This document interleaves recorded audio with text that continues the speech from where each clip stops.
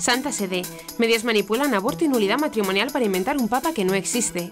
Monseñor Enrique Soares da Costa, obispo de Palmares, municipio ubicado en el estado brasileño de Pernambuco, denunció que los medios de comunicación manipulan y confunden a la gente sobre la facultad especial concedida a todos los sacerdotes para perdonar el pecado del aborto durante el año de la misericordia y sobre las reformas de la nulidad matrimonial dictadas por el Papa Francisco. El obispo de Palmares advirtió que con este modo de proceder, el mundo lo que quiere finalmente es pautar la fe de los católicos inventando un papa que no existe. Sobre la reforma establecida para el proceso de nulidad matrimonial, anunciada el 8 de septiembre, el obispo explicó que a diferencia de lo que sugieren los medios de comunicación, la Iglesia no tiene la capacidad ni el poder para anular el matrimonio. Después de la divulgación del documento en el que el Papa establece algunas reformas para el proceso de nulidad matrimonial, los medios seculares publicaron titulares como El Papa simplifica los procedimientos para la anulación del matrimonio, la reforma del Papa Francisco permitirá anular el matrimonio en 45 días, o El Papa Francisco facilita y abarata la anulación del matrimonio en la Iglesia. Al respecto, Monseñor Suárez recordó que la Iglesia no anula los